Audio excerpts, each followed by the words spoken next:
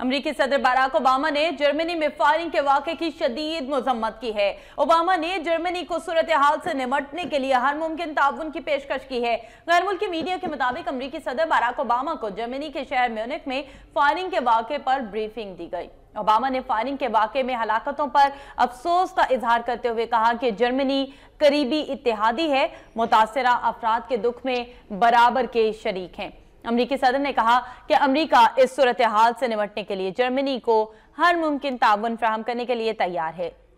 صدارتی امیدوار Hillary Clinton نے بھی میونک واقعے پر گہرے افسوس کا اظہار کیا ہے۔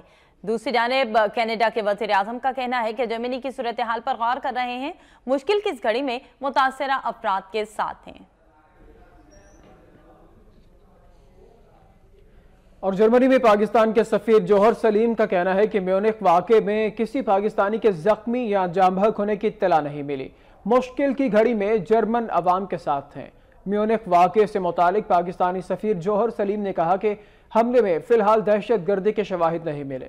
جرمن حکام واضح شواہد کے بغیر کوئی معلومات نہیں دیتے۔ انہوں نے کہا کہ فائرنگ کے واقعے میں کسی پاکستانی کے جام بھاگ یا زخمی ہونے کی کوئی اطلاع نہیں۔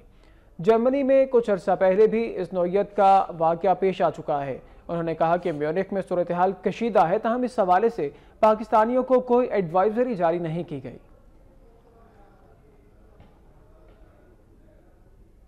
یورپ دہشت گردوں کے نشانے پر ہے۔ جرمنی اور فرانس سمیت یورپ کے کئی ممالک میں دہشت گردی کے بڑے بڑے واقعات ہو چکے ہیں، جن میں سینکڑوں افراد ہلاک اور زخمی ہوئے۔ یورپ میں دہشت گرد حملوں سے متعلق دیکھیے۔